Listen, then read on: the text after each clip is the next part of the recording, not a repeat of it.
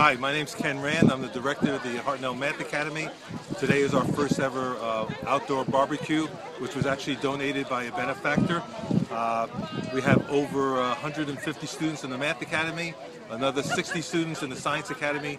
So we had over 200 students come through uh, the hamburger and hot dog line today.